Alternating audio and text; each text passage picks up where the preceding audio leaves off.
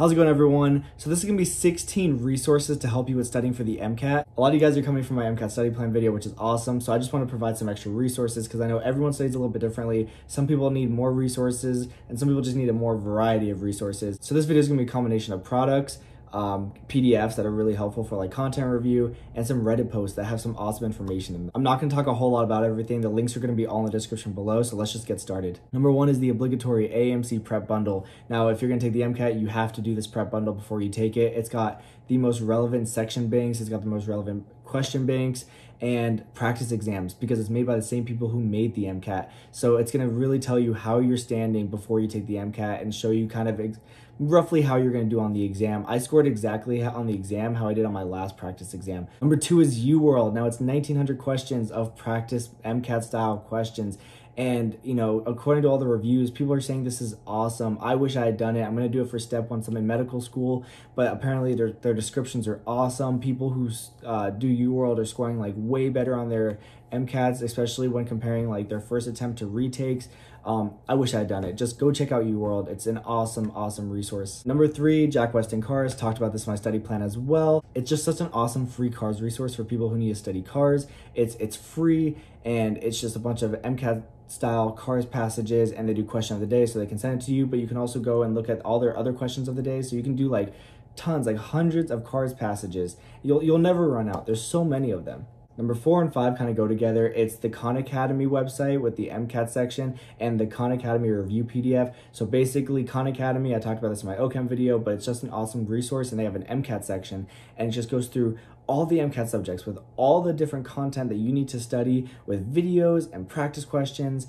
Um, and then they also have MCAT style questions, just so well done. And then someone basically made a Khan Academy PDF. I want to say it was MedBros, and they took all the Khan Academy notes and the videos and they just made these paper notes on a PDF and it's such such good content review. Like you could probably just review these and not buy Kaplan or Princeton. Number six is the MCAT review sheet. So basically the AAMC website has guidelines for what you should have, you know, studied before the MCAT. And so someone made review sheets based off of that and they're really well done, really condensed. They have all the different subjects um, you could probably not even read Kaplan or Princeton and just read through this. I found this after I had read Kaplan, um, and I kind of wish I didn't because they're just so well condensed. So if you feel like you need a refresher more than like content review, definitely check this out. Such an awesome resource. Number seven and number eight are the obligatory Kaplan review and Princeton review. Most people get these books. I did Kaplan. I don't know much about Princeton. I've heard that it's a little bit more in depth than Kaplan is, but a little bit more in depth than the MCAT. Just, you know, watch a video comparing the two or kind of just see what other people think.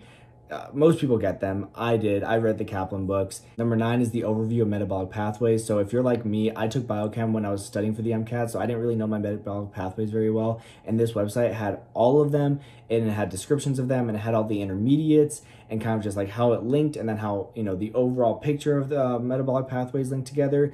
Uh, really awesome. You know, if you're a little bit out of biochem or you just don't know your metabolic pathways as well as you're going to need to for the MCAT go check it out, read through the website. Really, just a brief brief summary of all the metabolic pathways. Really really helpful. Number 10 is the ortho 528 anki deck.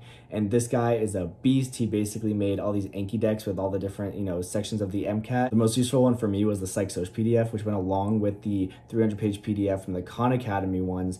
Just really really awesome. It really helped with psych soc but there's a bunch of other uh, sections as well as like biochemistry biology chemistry that other people can use but i mainly use the psych soc ones. Really awesome resources. This guy kills it. Most people on reddit use this guy's deck number 11 is the physics notes pdf it's basically just that. It's like all the physics sections on the mcat with notes and equations and descriptions of the equations and descriptions of the variables.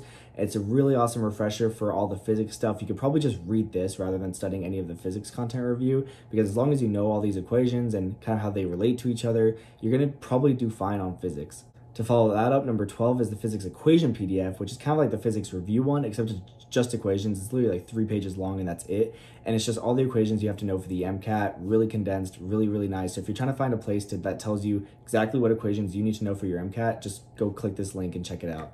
Number 13 is the No BS Study Tips Reddit thread. Now, you should be checking out multiple people's study plans. Like a lot of you guys are coming from my study video, but you should be checking out other people's study plans. And this guy really hits the nail on the head when it comes to studying for the MCAT. He, he just kind of skips over all the not important things, talked about what was the most important while studying for the exam. Just does a really, really good job of breaking it down. He also mentions UWorld and other resources that I kind of talked about in this video. So go check it out. This is just another list of resources. Super, super awesome. Number 14 is how I got a 525 on the MCAT Reddit thread. Now, you should be reviewing so many other people's MCAT study plans, and this guy really does a good job of talking about how he got a 525. There's some crossover and resources, and then there's other methods that just worked really well for him, including time management and whatnot go check it out. Go check out so many people's study plans and just make one that's really good for you. Number 15 is the My Content Review Notes based off the AAMC guidelines of Reddit thread. And this guy basically takes the AAMC guidelines and makes notes out of them and he puts all the links in his Reddit thread. It, really awesome, just really well organized. This guy did a really, really good job. I'm sure he did great on the MCAT because he just really in depth went through all the different sections that the AAMC says you should study and he made notes. And this is why, you know, you don't might not necessarily need Kaplan or Princeton because just in this video alone, I've listed a bunch of other content review places that are all free. And if they work for you, and I think that they actually are better just in terms of being concise, you know, go check them out before you, you know, plan on buying any books. And the last one, number 16, is like the master Reddit thread. It's the all my study materials I use for the MCAT Reddit thread. This guy, I don't know how he actually managed to get through all this stuff, but he lists every relevant resource for the MCAT, especially all the relevant free resources. He lists like the Anki decks, the PDFs, um, a lot of what I talked about in this video as well. He just go check out this Reddit thread. Like if you're gonna take anything away from this video, it's just go to this guy's Reddit thread. There's so many links for um, different resources and again, I don't know if he actually managed to use all of them, but it is just an awesome central hub of MCAT study resources. And the best part is most of them are free from his thread. And that's kind of, you know, if you're going to study for this exam, at least get stuff for free. At least don't spend a whole bunch of money on studying for the exam because it's already expensive, you know, to apply to medical school and even just take the exam on its own. So those are the 16 MCAT study resources for this video. All the links are in the description, so just go check them out. You know, comment any questions. I know I didn't talk about them in detail, but I just wanted to kind of get to the point on all of them. That way you guys can just go see what works for you, see what you like the most, and then make an MCAT study plan that's right for you. Anyways, thanks for watching. I'll see you guys next time.